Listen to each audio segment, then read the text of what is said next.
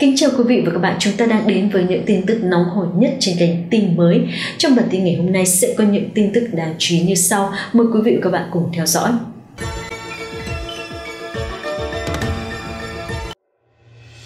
Động đất 8,0 độ Richter làm rung chuyển đập Tam Hiệp, 1,2 tỷ dân Trung Quốc hoảng loạn. Rất vui được gặp lại quý vị và các bạn trong thời lượng của tin mới. Cảm ơn quý vị đã dành ra ít phút mỗi ngày đồng hành cùng chúng tôi để có thể cập nhật những tin tức nóng nhất, những sự kiện đáng chú ý đã diễn ra trong ngày cùng với kênh tin mới. Đến với bản tin ngày hôm nay sẽ có các nội dung chính đáng chú ý ngay sau đây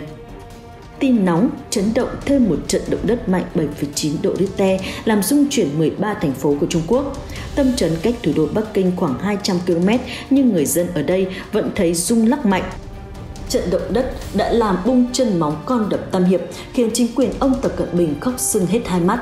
Hiện các cơ quan cảnh báo động đất sóng thần của Trung Quốc vừa ra thông báo khẩn cấp tới người dân của nước này phải sơ tán gấp nếu không sẽ bị nguy hiểm ập tới. Dự báo Trung Quốc trong nay mai còn hứng chịu tiếp một trận động đất và một trận mưa đá dữ dội nữa. Đó là theo thông tin của Trung tâm Dự báo Khí tượng Thủy văn Trung Quốc cho biết. Như vậy, và nếu điều này xảy ra thì khả năng con đập Tam Hiệp của Trung Quốc sẽ bị vỡ lên tới 97,5%. Khi đó, toàn bộ 2 phần 3 diện tích của Trung Quốc sẽ bị 60 tỷ mét khối nước của đập Tam Hiệp nhấn chìm và cuốn trôi ra ngoài Biển Đông. Thế giới sẽ không còn xuất hiện tên Trung Quốc trên bản đồ nữa và đây không biết là tin vui hay là tin buồn cho châu Á, châu Âu, châu Mỹ và châu Úc. Thưa quý vị, theo một nguồn tin đáng tin cậy tiết lộ rằng Bắc Kinh đang điều động hàng nghìn xe quân sự bọc thép lên con đập Tam Hiệp để quyết định phá vỡ con đập này trước khi nó sẽ tự vỡ. Và theo thông tin mới nhất mà chúng tôi vừa mới nhận được thì đỉnh lũ số 2 đã xuất hiện trên con đập Tam Hiệp vào ngày hôm kia khiến cho mực nước tại con đập này đã vượt mức cảnh báo rất cao. Nước mưa liên tục chút xuống trong những ngày vừa qua đã làm cho con sông Dương Tử báo động đỏ ở mức độ cao nhất. Con đập Tam Hiệp được cho là đã hết sức chịu đựng và nếu không tự phá bỏ thì nó sẽ gây ra thảm họa cực kỳ tàn khốc cho người dân của Trung Quốc. Các khối bê tông tại con đập Tam Hiệp được cho là đang bị nứt nghiêm trọng và bị dò dỉ nước và nếu tình trạng mưa lớn còn tiếp tục kéo dài trong một vài ngày tới thì lượng nước trong hồ sẽ khiến cho con đập nổ tung như một quả bom, khiến hàng triệu hàng tỷ người dân Trung Quốc sẽ bị nhấn chìm trong biển nước. Dự báo có ít nhất khoảng tầm 800 triệu người dân trên 28 tỉnh thành phía nam của Trung Quốc sẽ chìm dưới biển nước như là một ngày tận thế. Các thành phố, các cao ốc, xí nghiệp, nhà máy, vật dụng và rất nhiều những thứ khác sẽ bị cuốn trôi ra ngoài Biển Đông. Gần 1 tỷ người dân của Trung Quốc sẽ ngập trong biển nước và đây là một cảnh tượng vô cùng kinh hoàng. Đây là lý do vì sao mà ngày hôm qua ông Lý Khắc Cường đã quyết định điều động hàng nghìn xe bọc thép và 50 tiểu đoàn lên gần con đập Tam Hiệp để tiến tiến hành tự phá con đập này tránh hậu quả thảm khốc xảy ra trong một vài ngày tới hàng triệu người khác đã lên khu vực vạn lý trưởng thành để trú ẩn. Tình trạng 28 tỉnh thành phía Nam dọc theo con sông Dương Tử đang báo động đỏ, báo động khẩn cấp mức cao nhất. Trung Quốc đang trải qua những giờ phút rất cam go, ngàn cân treo sợi tóc. Được biết, một nguồn tin từ mạng xã hội cho biết bị chính quyền ông Tập Cận Bình chặn lại, không cho bất kỳ thông tin nào lọt ra ngoài.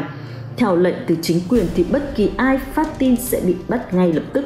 Thưa quý vị, chính quyền ông Tập được cho là đã mất ăn mất ngủ suốt hơn một tháng vừa qua khi mưa lũ, lũ lụt, động đất sạt lở liên tục tàn phá Trung Quốc, ông trời và mẹ thiên nhiên dội xuống đầu chính quyền của ông Tập quá khủng khiếp và tàn khốc, khiến cho chính quyền của ông ta không kịp trở tay, để bây giờ phải quyết định phá vỡ con đập Tam Hiệp trước khi nó tự vỡ. Đây được cho là một công trình đập lớn nhất của thế giới và gây ra nhiều tranh cãi nhất từ khi nó được khởi công xây dựng cho tới nay. Giờ đây, đứng trước nguy cơ tự tay phá vỡ con đập này thì cũng là kết quả của sự tàn ác, nham hiểm và độc quyền, độc đoán mà chính quyền ông Tập Cận Bình đã gây ra cho thế giới trong thời gian vừa qua. Nhiều ý kiến cho rằng đây chính là nhân quả báo ứng hay còn gọi là nghiệp quật đang đổ lên chính quyền ông Tập Cận Bình vì những tội ác mà ông gây ra. Chính quyền của ông ta đã đi ngược lại với thiên nhiên khi cho tàn phá rừng, phá núi một cách bừa bãi, đặc biệt là hủy hoại con sông Dương Tử hay còn gọi là con sông Trường Giang để xây dựng con đập Tam Hiệp.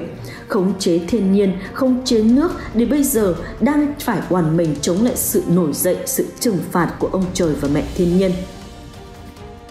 Điều này xảy ra cũng là cái kết rất đúng với cả quy luật sinh tồn.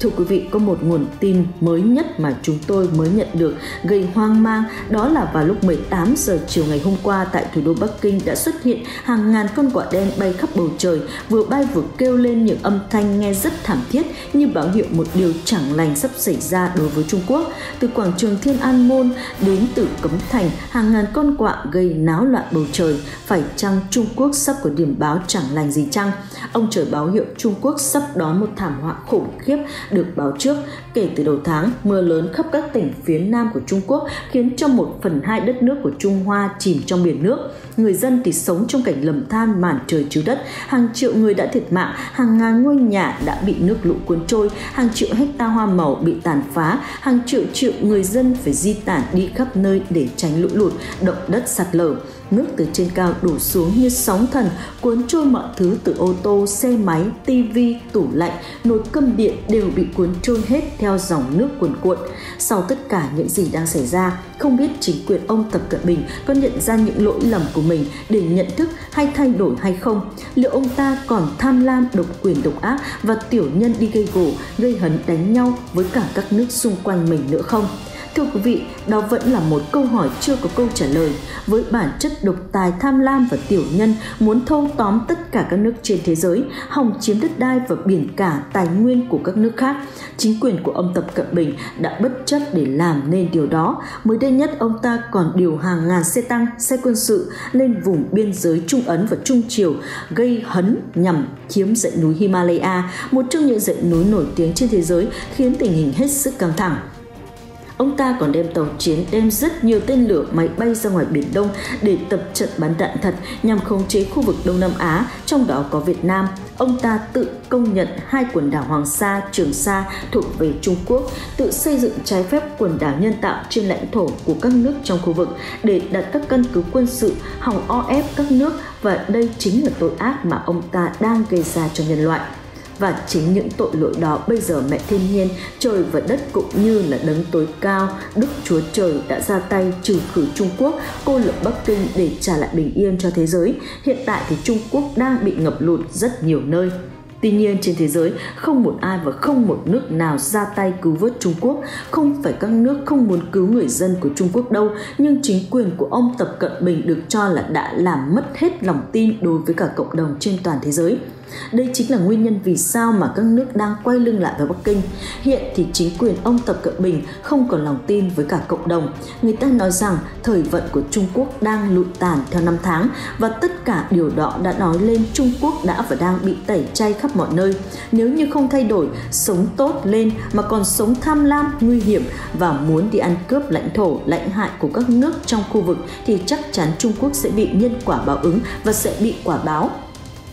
Thưa quý vị, theo tờ báo China Morning Post, một trong những tờ báo nổi tiếng của Trung Quốc cho biết tại Vũ Hán xuất hiện hiện tượng bị thấm nước sông đã vượt quá cảnh báo tới 2 mét, trong khi một đỉnh lũ mới dự báo là sắp ập tới. Bộ Tài nguyên nước Trung Quốc đã ra thông báo do mưa lớn, dòng chảy chính của thượng nguồn sông Dương Tử và khu vực đập Tam Hiệp tăng đáng kể, lưu lượng hồ chứa tăng nhanh lên tới 58 mét khối trên giây. Đây là một trong những lưu lượng lớn nhất trên thế giới và nó có thể nhấn chìm tất cả toàn bộ các tỉnh thành xung quanh con đập Tam Hiệp và đây là một điều cực kỳ nguy hiểm nếu như Trung Quốc xảy ra một tới hai trận động đất sóng thần thần nữa. Thưa quý vị, thông điệp về trận lũ số 2 của sông Dương Tử trong năm nay có nghĩa là hạ lưu sẽ có thể gặp một thảm họa xả lũ khác. Hiện tại, khu vực Hồ Bà Dương đã vượt khỏi tầm kiểm soát, nước ở thành phố Vũ Hán đã lên tới 27 tới 37 mét và tình trạng kiểm soát lũ ở An Huy, nơi đang đối mặt với cả lũ lụt ở phía Nam cũng như phía Bắc đang rất nghiêm trọng. Khi đạt mức kiểm soát lũ cao nhất thì chính quyền đã phải đưa ra cảnh báo đỏ và lũ lụt đang tiếp cận khu vực Giang Tô, Chiết Giang và Thượng Hải. Trên trang web chính thức của Cục Quản lý Lưu vực Hồ Thái Hà của Bộ Tài nguyên nước ra thông báo cho biết mực nước tại Hồ Thái Hồ đạt 4,65 m, mất kiểm soát lũ cao nhất trong lịch sử và cho thấy xu hướng tăng lên trong một vài ngày tới là rất cao. Cục Phòng chống lũ ở Hồ Thái Hồ đã kích hoạt cơ chế ứng phó khẩn cấp mức độ cảnh báo cao nhất và các tỉnh như Chiết Giang, Thượng Hải khả năng cao sẽ bị ngập lụt. Bộ trưởng Tài nguyên nước của Trung Quốc đã ra thông báo rằng dòng nước chảy vào Hồ Tam Hiệp dự kiến sẽ đạt đỉnh lũ mới và nguy hiểm đang rình rập tới con đập này. Thưa quý vị, Hồ Thái Hồ được cho là rất rộng và rất sâu, độ sâu trung bình khoảng 2 mét trở lên, có những nơi lên tới 20 mét. Nước dễ vào nhưng không dễ thoát. Một khi Hồ Thái Hồ bị ngập, các khu vực xung quanh như Tô Châu, Vô Tích, Thường Châu, Hồ Châu và Thượng Hải sẽ bị ảnh hưởng một cách nặng nề nhất và đây chính là nguyên nhân mà phía Trung Quốc đang rất lo lắng. Ông Vương Gia Bảo, giáo sư một trường đại học tài nguyên nổi tiếng ở Thượng Hải cho biết nhiều khả năng cao nếu xảy ra đỉnh lũ số 2 thì con đập Tam Hiệp sẽ bị vỡ và các lực lượng chức năng phải hết sức đề phòng. Hôm qua, hãng tin Reuters đưa tin các thành phố như Vũ Hán, An Huy, Giang Tây, Chiết Giang đã đưa ra cảnh báo đỏ cho mưa lớn và mực nước tại các con sông hồ đang tăng lên với mức độ chóng mặt Thành phố Vũ Hán bên bờ con sông Dương Tử cảnh báo người dân nên đề phòng khi mực nước tăng lên nhanh chóng và đạt mức quá nguy hiểm so với mức an toàn. Hồ chứa đập Tam Hiệp khổng lồ, nơi đang tích trữ nhiều nước lớn nhất của Trung Quốc, đang cố gắng giảm bớt lưu lượng gây ra rủi ro lũ lụt ở vùng hạ lưu. Hiện đang có mức nước cao hơn 10 đến 12 mét so với mức cảnh báo và hồ chứa này đang chứa với lượng nước lên tới 60 tỷ mét khối và đây là một trong những lượng nước lớn nhất trên thế giới. Khi nó vỡ, nó sẽ nhấn chìm toàn bộ Trung Quốc. Hãng tin Reuters còn cho biết mực nước tại hồ Bà Dương, tỉnh Giang Tây cũng đang vượt mức cảnh báo đỏ tới 18 mét và nguy cơ xảy ra vỡ đập là rất cao. Thưa quý vị, theo các chuyên gia thủy lợi cho biết thì lượng mưa trong một vài ngày tới sẽ tiếp tục tăng cao ở nhiều thành phố Trung Quốc. Hiện tại thì động đất sóng thần vẫn tiếp tục xảy ra và nguy cơ vỡ con đập Tam Hiệp là rất lớn. Và liên quan tới các tình hình đó, chúng tôi sẽ thu thập và gửi tới cho quý vị và các bạn vào bản tin kế tiếp. Còn chương trình ngày hôm nay chúng tôi xin phép được dừng tại tại đây. Kính chúc quý vị có một ngày tràn đầy sức khỏe và vui vẻ. Xin kính chào và hẹn gặp lại. Những thông tin vừa rồi cũng đã kết thúc bản tin thời sự tổng hợp ngày hôm nay. Chúng tôi sẽ tiếp tục cập nhật những thông tin mới nhất cho những bản tin tiếp theo. Quý vị hãy đăng ký kênh tin mới để theo dõi. Còn bây giờ xin chào và hẹn gặp lại.